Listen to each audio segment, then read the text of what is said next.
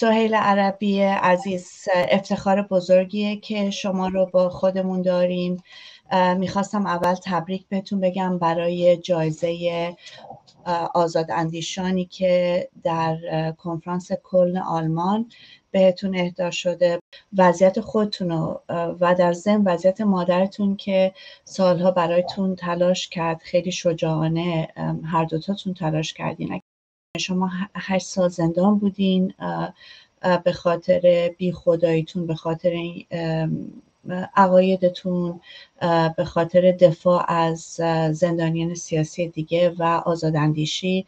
اگر بتونین یه مقدار در این مورد به بگین.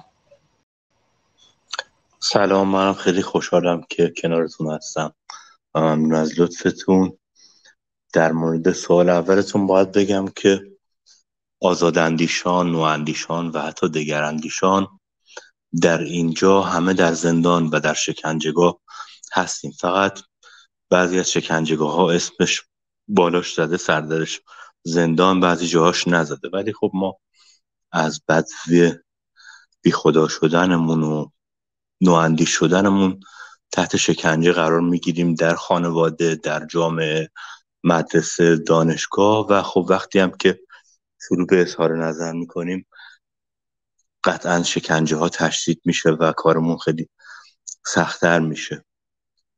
و این هشت سال برای من تازگی چندانی نداشت فقط تفاوتش این بودش که اسمش زندان بود وگرنه از روزی که به قول مسلمان ها مرتد شدیم این شکنجه ها علیه ما شروع شده و توی زندان یک حالت رسمی تری پیدا کردش. و در مورد مادر هم خب ایشون به خاطر حمایت از من محکوم به تحمل حبس شدن و موقعی که من محکوم به اعدام شدم یک بار سکته قلبی کردن دوباره چند روز پیش وقتی که احضارشون کردن سکته مغزی کردن و فشار به خانواده زندانیان سیاسی تبدیل به یکی از شیوه های شکنجه شده متاسف واقعا متاسفم از این وضعیت و واقعا سلامای گرم ما رو برای مادرتون و خانوادهتون بفرستین. واقعا خیلی به همه ما قوت قلب دادن. حالا در ایران داشتن فعالیت می‌کردن در دفاع از شما و دیگر زندانیان سیاسی. یه صحبتی که الان کردین در رابطه فشارهایی که روی خودتون بوده و روی خانوادهتون و مادرتون. این, این یه واقعیت برای دگر اندیشان و آزاد اندیشانی که تو ایران هستن. همونطوری که خودتونم گفتین. خیلی شما تلاش کردین چه تو زندان بودین و چه الانی که در تبعید هستین. که وضعیت زندانیان سیاسی و دگر اندیشان و کسایی که توی زندان جمهوری اسلامی هستن و بالاخره فاش کنین و توجه جلب کنین به این وضعیت. می‌تونین یه مقدار در جزئیات بیشتری توضیح بدین که وضعیت زندانیان سیاسی آتست و دگراندیش و آزاداندیش چی هست دقیقا؟ وضعیت چطوره و شرایط چطوره برای آنهایی که هنوز هستن توی زندان؟ زندانیان سیاسی انواع گوناگونی دارن و فشارهایی هم که روی زندانیان سیاسی هستش خیلی متفاوته. یعنی مثلا شخصی که فقط قائل به اصلاحات هستش و معتقده که جمهوری اسلامی باید همین گونه اسلامی بماند همین ترکیب رو داشته باشه فقط یک سری اصلاحات در موردش صورت بگیره خب هم مجازات کمتری داره. هم وضعیتش خیلی متفاوته با کسی که به طور کل با ایدئولوژی حکومت مخالف سکولار هستش و معتقده که باید قوانین این جهانی و مناسب با نیازهای روز جامعه باشه. چنین افرادی یعنی افرادی که معتقد به دگرگونی های بنیادین هستن شکنجه های خیلی بیشتری رو تحمل می‌کنن. یعنی اگر که اعدام نشن حالا اینکه الان اعدام کردن هم سخت شده برای حکومت به این نیست که حکومت داره رحم می‌کنه به این دلیله که مردم پشت ما هستن حمایتمون می‌کنن. وگرنه تا همین یک دهه پیش هر مرتدی اعدام میشدش. به صرف اینکه اعلام می‌کرد دیگه مسلمان نیستش. ولی خب الان خوشبختانه حمایت های مردم و در پی اون حمایت های جهانی باعث شده که یک مقداری اوضاع بهتر بشه. ولی قطعا فشار روی یک زندانی آتئیست خیلی خیلی بیشتر از هر زندانی دیگری هست. حتی از یک قاتل بیشتر حتی از یک اختلاسگر بیشتر حتی از کسی که بمبگذاری کرده بیشتر. برای نمونه وقتی که من محکوم به اعدام شدم مادرم به باسپورس گفت پسر من که آدم نکشته می‌خواید اعدامش کنید؟ باسپورس گفت قاتل یک نفر از مردم رو می‌کشه ولی پسر شما حکومت رو کشته. یعنی طرز فکر اینا اینه که کسی که داره روشنگری می‌کنه یک حکومتی رو داره به قتل میرسون به همین دلیل بدترین نوع انتقام بیا به قول خودشون انتقام سخت می‌گیرن. از بله. درسته. یعنی خب به یه چیزی انگشت گذاشتیم که واقعیت اینه که خب این روشنگری چقدر مهمه واقعا و واقعیت که فکر کنم دیگه جزوه یه فاکت در رابطه جامعه ایران اینه که دگراندیشی و بیخدایی و آزاداندیشی واقعا رشد خیلی زیادی کرده اونجا. به نظرتون چرا اینطوریه و نتیجهش هم خب حتما توی زندان ها میشه دید. داره حکومت وحشت خیلی زیادی از روشنگری داره و به این دلیل که اقتصاد سیاسی جمهوری اسلامی بر مبنای مذهبه. یعنی اگر که مذهب رو از جمهوری اسلامی بگیریم اگر که عقاید خرافی مردم رو ازش بگیریم دیگه کسب درآمد نمی‌تونه بکنه. خب یک سیستم دموکراتیک میاد جاش و آخون دیگه جایی نداره. بسیجی دیگه جایی نداره. افراد متخصص میاد به خاطر همین اینها راز بقاشون در حفظ خرافات هستش و از روشنگری حراس خیلی زیادی دارن. اما خوشبختانه با وجود همه سختی هایی که بوده و خطرهایی که بوده این روشنگری ها از چند نسل قبل از ما آغاز شده و خب با شبکه های اجتماعی شکوفا شد. به جرات می‌تونم بگم که بیشتر از 80 درصد از نسل جوان ما دیگه اعتقادی به این خرافات ندارن.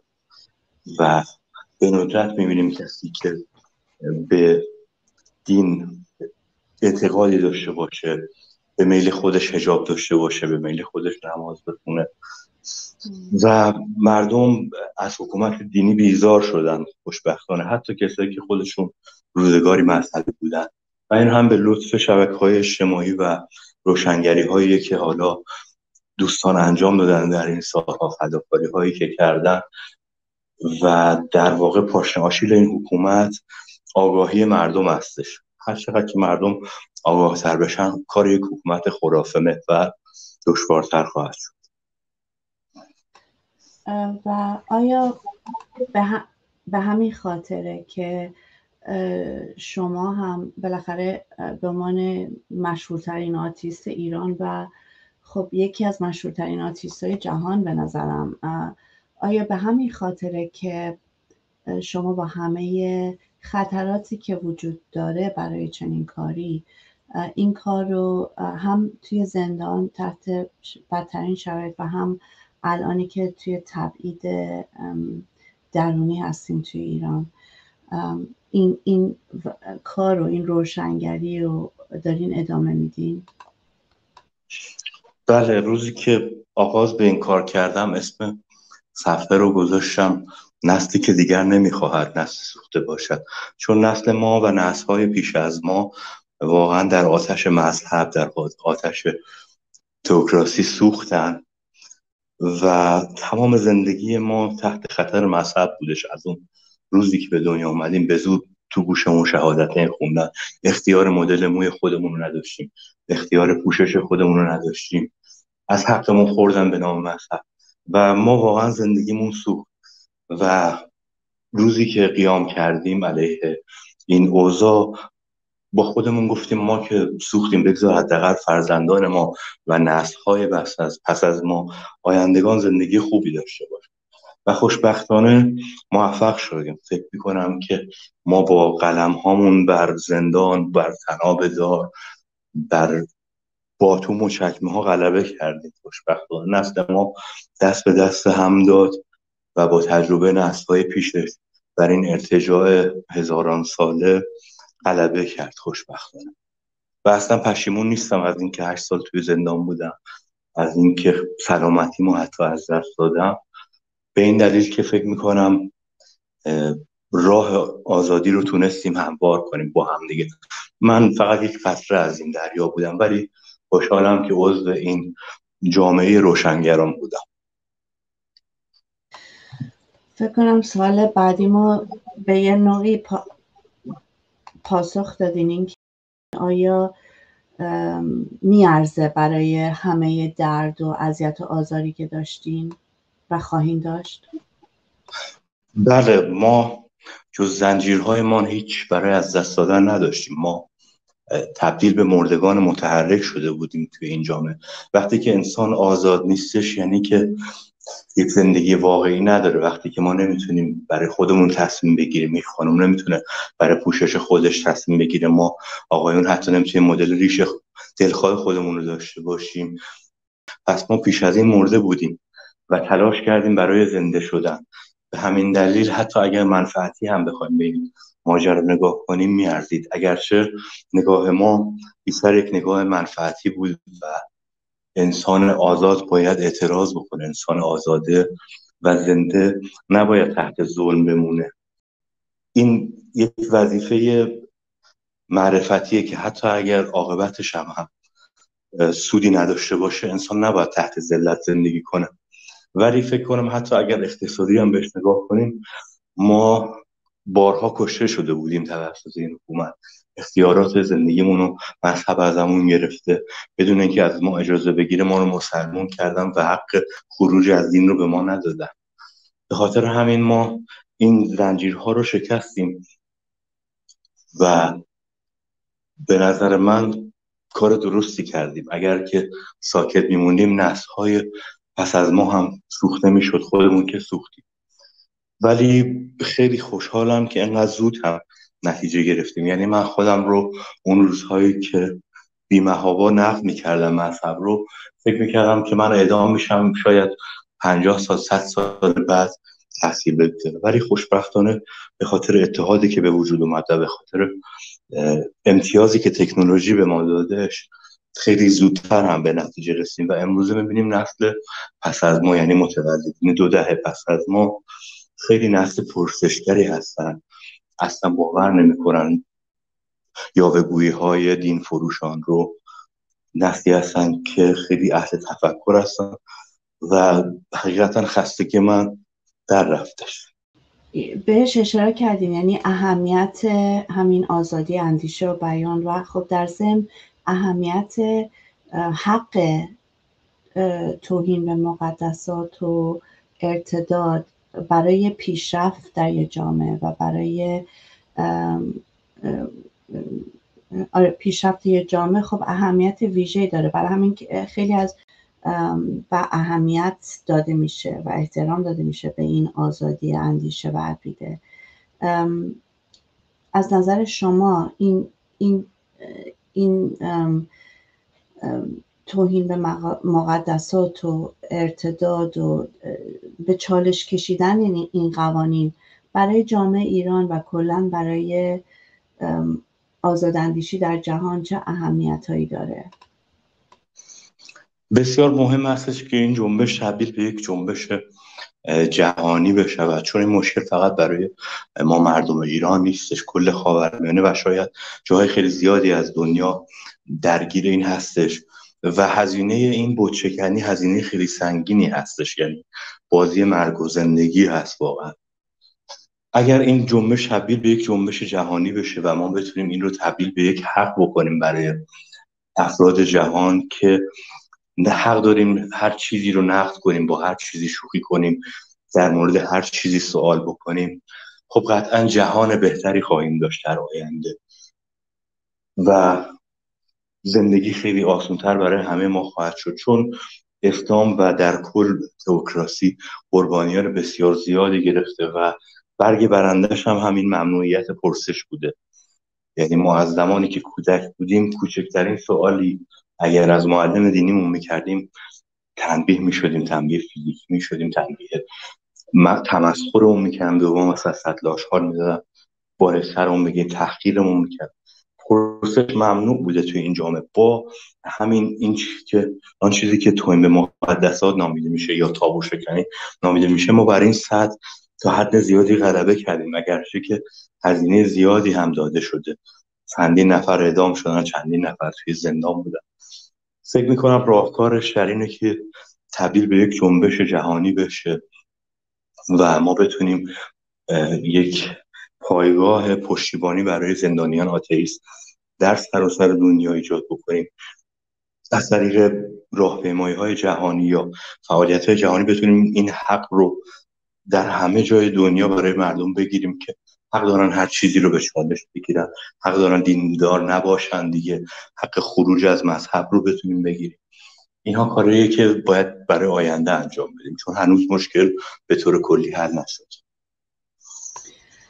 شما در صحبتاتون از این صحبت کردیم که حمایت های زیادی شد. چه توی ایران و چه در سطح بین المللی و این خیلی کمک کرد به نجات شما به یه نوعی از زندان. و خب هنوز تحت فشار هستیم ولی همین همبستگی بین المللی اهمیتش اگر بتونین جزئی تر توضیح بدین که چه اهمیتی داره و در ضمن چه پیامی دارین برای کسایی که الان صداتون رو میشنون و چه کمکهایی می‌تونن بکنن.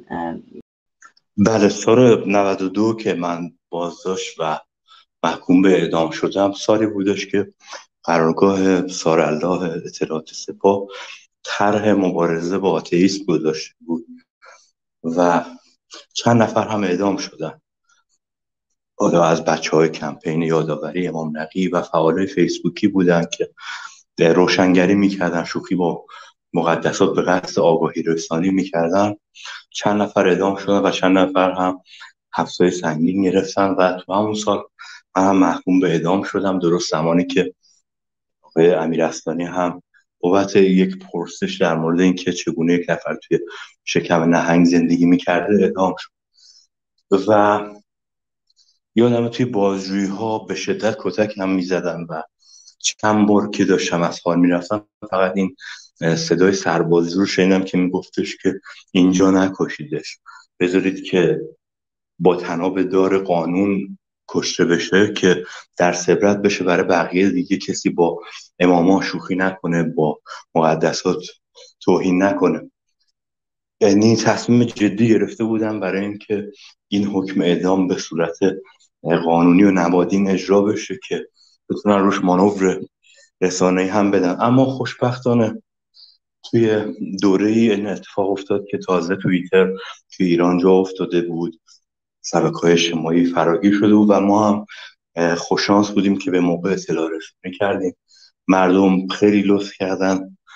چند شب طوفان توییتری کردم و این صدا به دنیا رسید و مردم دنیا هم خوشبختانه حمایت کرد و از اون لحظه به بعد برخورده با من عوض شد. یعنی تا اون موقع همش تهدید بود. از اون موقع بعد سعی کردن که از من اعتراف بگیرن که بگن از آمریکا پول گرفتی این کارو بکنی از اروپا. یه جوری می‌خواستن که حالا حکم اعدام یه جوری بهش وجاهت بدن که مثلا اتهام دیگه بزنن. ولی خب وقتی که نتونستن اعتراف اجباری هم از من بگیرن مجبور شدن حکم اعدامو به خاطر فشارهای رسانه‌ای بشکنن و چند بار به من گفت باشه ما حکم اعدام تو میشکنیم ولی دیگه به رسانه ها چیزی نگو وحشت از همدلی مردم بود. وقتی که چند شب پیاپی طوفان تویتری میشه و همه جامعه با همدیگه علیه یک جنایتی مثل این اعتراض می‌کنن قطعا هزینه خواهد داشت برای حکومت. چون دو تا استراتژی متفاوت در بین نهادهای امنیتی داریم یک استراتژی غالب اینه که هر صدای مخالفی رو باید خاموش کرد یعنی هر منتقدی رو باید سرکوب کرد که جامعه حراس داشته باشه.